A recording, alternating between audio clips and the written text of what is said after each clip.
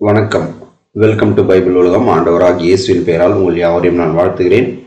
இந்த ஒரு நாள் ஒரு கேள்வி நிகழ்ச்சிக்கு உங்கள் யாவரையும் அன்போடு கூட நான் வரவேற்கிறேன். நாம் இந்த வீடியோவில் என்ன பார்க்க போகிறோம்னா நேற்றைய நாளுக்கான அந்த கேள்வியுடைய ஆன்சர் அதே போல் இந்த நாளுக்குரிய கேள்வியை நாம் பார்க்க போகிறோம் வாங்க வீடியோக்குள்ளே போகலாமா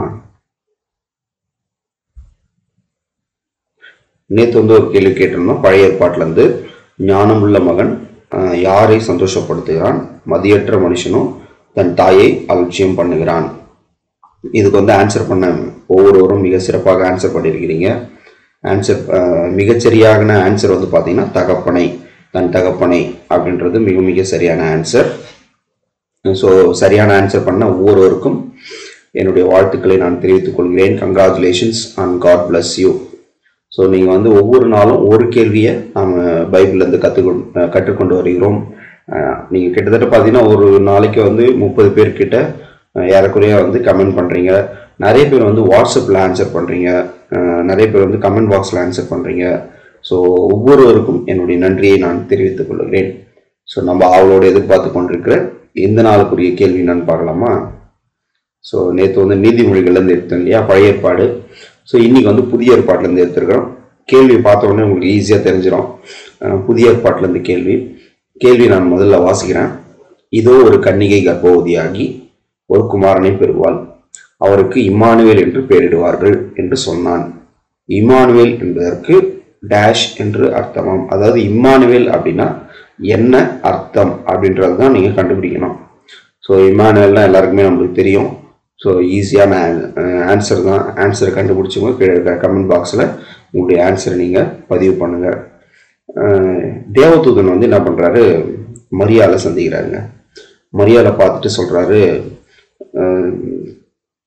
செய்தி சொல்கிறார் இந்த மாதிரி நீங்கள் வந்து பரிசுத்தாவின் மேல் நிலவிடம்.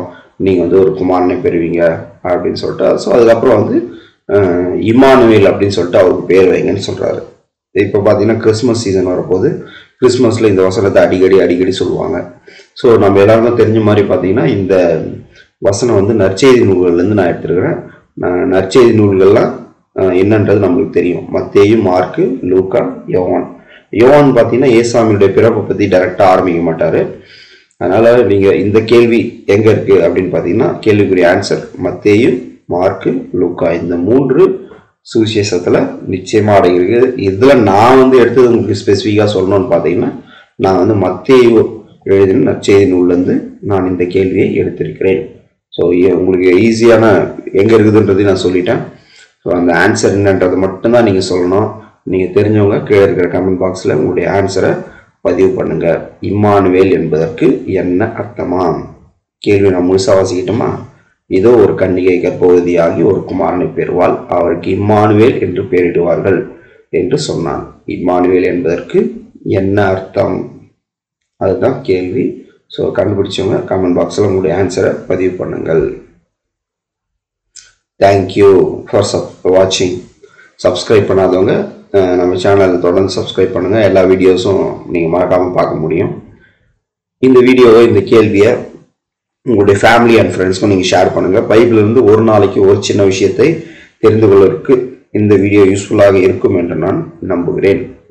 நாளைக்கு நான் வந்து ஒரு புதிய கேள்வியோடு உங்களை சந்திக்க போகிறேன். God bless you from Bible உலகம் ஆமேன்